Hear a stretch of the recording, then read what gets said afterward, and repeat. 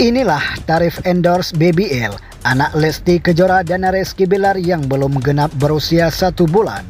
Sama seperti halnya Rayanza, anak Lesti Kejora dan Reski Bilar juga disebut siap menerima endorse.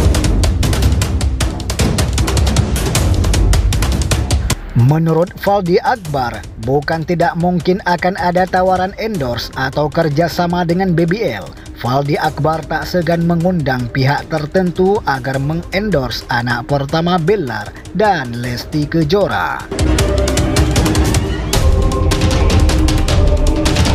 Kendati demikian, sahabat Bilar itu tidak berharap BBL menerima endorse dalam waktu dekat.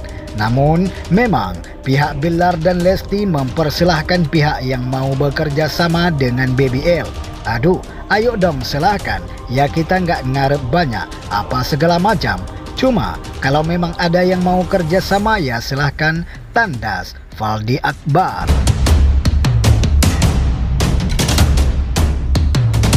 Dalam kesempatan itu, Faldi Akbar berharap rezeki dari anak pertama Bilar dilancarkan. Pun ia ingin bayi yang dipanggil Leslar ini diberikan kesehatan oleh sang pencipta Insya Allah mudah-mudahan kita doain aja rezeki BBL lancar, sehat. Amin. Ya Rabbal Alamin. Tandas Faldi Akbar menambahkan.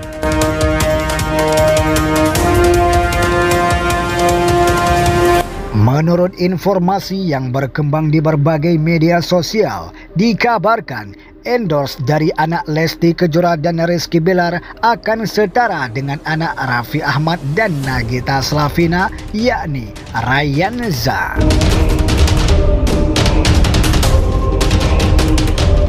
Jikalau kabar itu benar adanya, maka diprediksi bisa diperhitungkan bahwa harga endorse dari Muhammad Leslar Al-Fatih Bilar berkisar ratusan juta rupiah.